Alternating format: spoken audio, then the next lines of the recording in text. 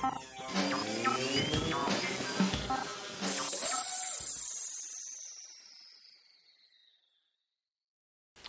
Airmen, welcome back to Motion RC. We're setting up the thrust vectoring on this Sukhoi by Freewing. One thing you want to remember about thrust vectoring is usually it has three servos, like in this case. You have one servo on the right side that goes up and down, and then you have a servo on the left side that goes up and down. And then you have a servo that works both nozzles as a rudder.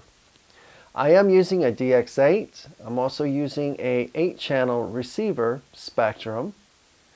The auxiliary 1 port is flap, but since we don't have a flap, the auxiliary from one of the thrust vectors will go into it, as well as a thrust vectoring going into port number 2 auxiliary and port number 3 auxiliary.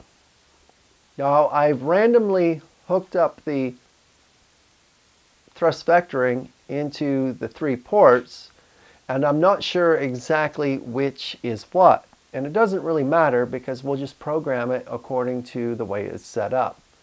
So the first thing I'm going to do is start moving my auxiliary switches. And so I'm going to start with that flap, which is auxiliary 1. And as I flip this, we can see that that engages on the starboard side. Now this is a three position switch and if you notice if I flip the switch up the nozzle goes down and if I flip it all the way down the nozzle goes up. It is reversed but we're not going to worry about that at this time. Just be mindful that there is a neutral position which is going to be number one on the three position switch. So we're going to move that to number one so we can level that off. Now I'm going to go to auxiliary number two. And as I move that switch, we can see that the port side is engaging. And if I'm all the way down at number two position on the switch, it is up. If I flip all the way up, it is down. But if I flip it to the first position, we are in neutral and it's nice and level. And this is where you want to be for programming.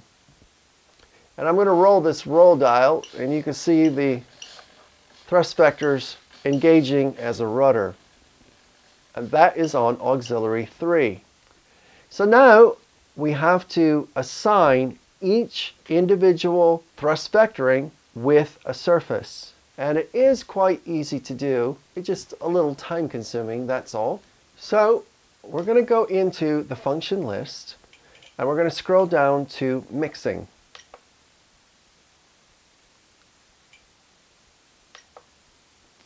We're going to highlight this aileron rudder and we're just going to roll that till we hit mix 1 and then push enter. And we have an inhibit right here and we want to move that to rudder. And I'm going to work on the rudder first because that should be only one servo to work with so it's only going to get one mix. So we know that that was auxiliary 3 so we're going to highlight that now. Now, nothing's going to happen when we go to hit our rudder.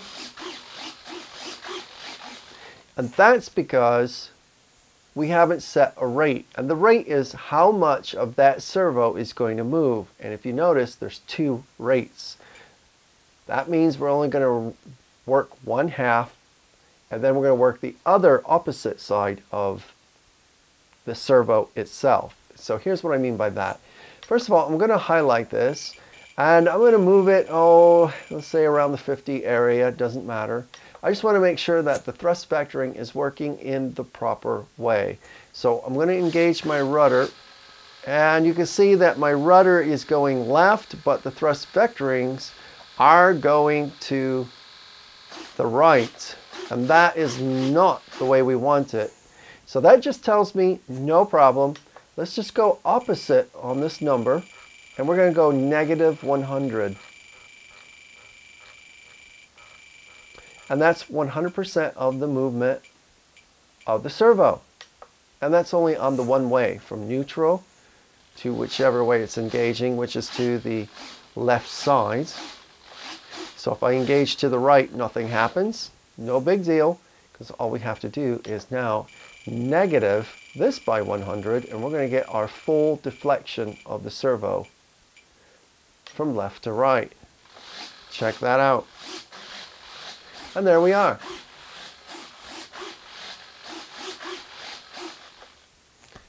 So that one's done. Now let's go into mix number two. So now we're going to mix the elevators. So I want to move this to elevator. And we're to, we remember we had that um, auxiliary one on the right side. So we're going to bring up the auxiliary one. I'm going to just positive this maybe 50 or so percent. And when I engage the elevator, on the downside, on the downside, it's actually going on the right way. So I can continue now moving this to the 100%.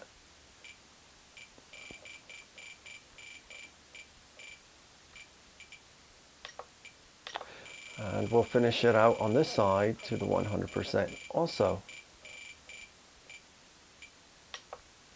So when I engage this elevator, the right side is now engaged. So let's go to mix number three and we'll finish off the elevator by bringing up auxiliary number two and mixing it. And I'm going to go positive just a little bit or so and I'm going to that. Okay, they're both in the right direction, so no problem. Let's get back in there. And we're going to move these to the positive 100.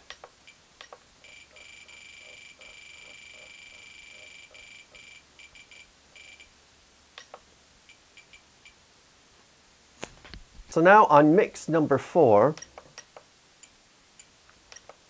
and we're going to set up the ailerons. On this other one, we're going to go to auxiliary 1, which will be the right side. I'm just going to engage a little bit of movement to make sure we are on the right track. So when I work my aileron, it's got a slight down to it. And that is going in the right direction because when I deflect, it is going with that right aileron. So let's finish that up. Whoop, get back up there with the 100. And we'll also change the second rate to 100.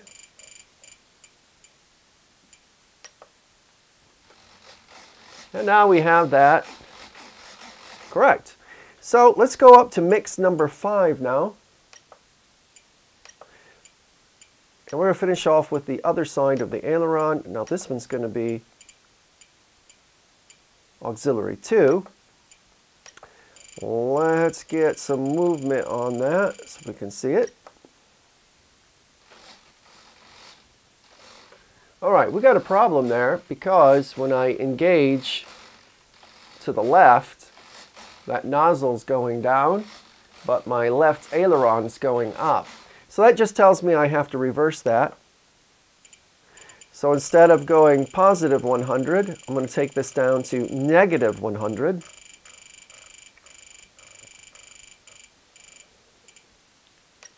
And we'll do the same for the second rate.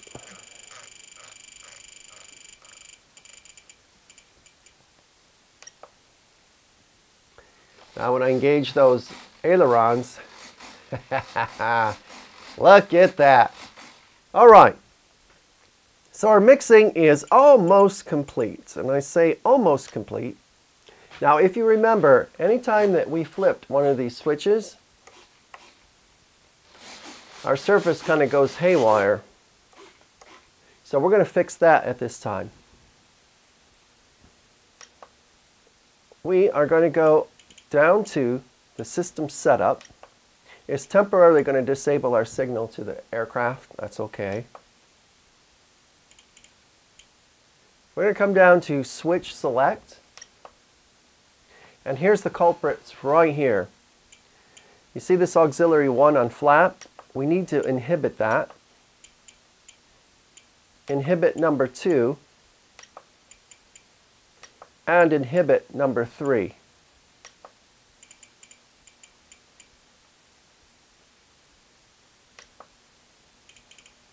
Go back to our main screen.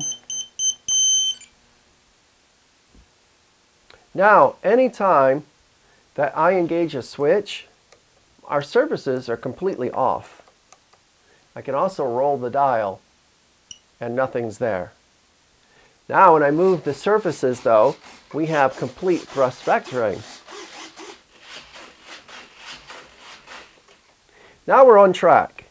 Now the manual for this particular aircraft says never fly thrust vectoring on your maiden flight.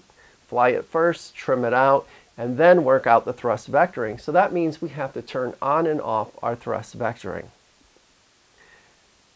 I'm going to use my dual rate on my elevator as my on and off switch. I never use dual rates separate like rudder on the rudder, aileron on aileron. I just move all of mine just to uh, all the DR Expo to one switch. Um, I'll just assign them here so when I flip these I get my dual rates. I only have to flip one switch for all three surfaces. So this one's going to be empty. Now we have a lot of different switches so wherever you assign it that is entirely up to you. But I'm going to put mine on this switch. To do that I have to go back into mixing.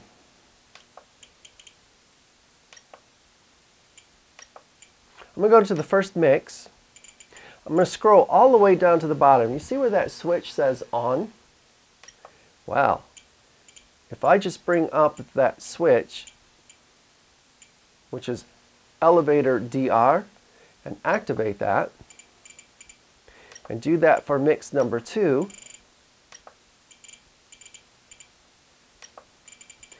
do that for mix number three,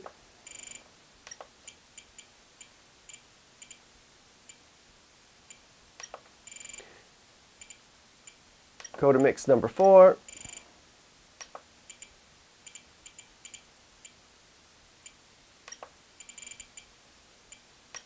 And mix number five.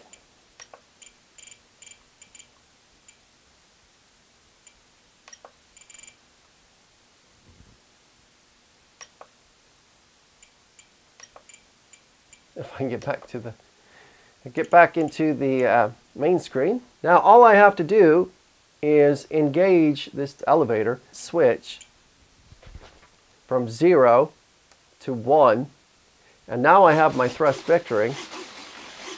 On 2 thrust vectoring is automatically on but if I bring that to the 0 position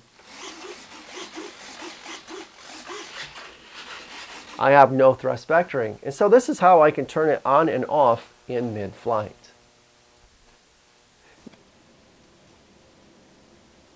If you go to set up your dual rates, since you have mixes on your main surfaces, anytime that you adjust a main surface, that dual rate will also apply to whatever it's mixed with. Now, if you ever find that that mix just isn't working out for you, maybe you need more thrust vectoring or less thrust vectoring, that's no problem because all you have to do is go back to your mixing